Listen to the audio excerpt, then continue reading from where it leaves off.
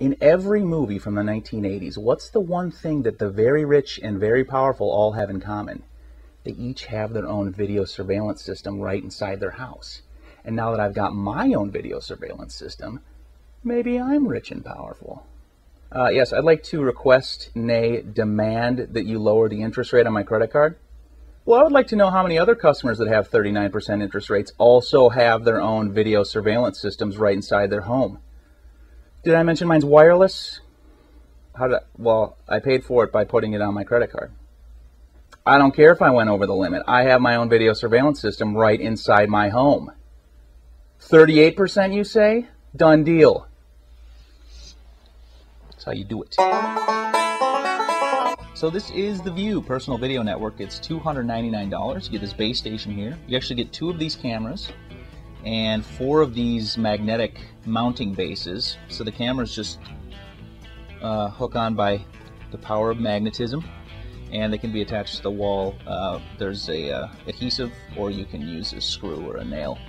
Uh, so you get four of those so you can move the cameras around. And setup is real simple. You just plug the base station into your uh, router. It's a hardwired connection and uh, power it up. Make sure you have the internet light here, and then uh, this camera is ready to go. You hit the sync button on top of the unit here, and then this guy will flash and let you know that it's ready.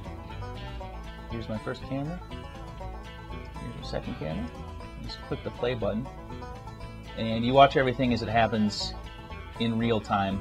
Uh, maximum resolution is 640 by 480, and you uh, you can record you have two gigabytes of um, storage, and there doesn't seem to be a limit on the amount of time you can record. I recorded a 30 minute video and downloaded it. It was under 8 megabytes. The only problem is you need to keep the web browser open and recording uh, while you're gone. You can't close it back down or it'll stop recording. You can play back the recordings from each of your cameras simply by dragging the actual camera into this timeline here. You can also share, you can share your live streams with anyone, and you can also um, upload clips to YouTube. You can save the clips to your desktop, delete them, and you can email video clips. The website's pretty easy to use. I wish there was a mobile version. There's no way to check your video streams on your phone. You need to have a flash compatible browser in order to view the videos. So yeah, it's small, it's easy to set up, but the real draw here is the whole wireless thing. So I'm going to take the two cameras down. I'm on the third floor now. I'm going to take one down into the, into the creepy basement in the building I live, and I'm going to take the other one outside. I'm gonna I'm gonna take a camera outside as part of the uh, as part of the surveillance system. I mean, they, they should have lowered my rate to 37%. If they would have known it went outside, I should have said that. Got a nice shot down the alley there.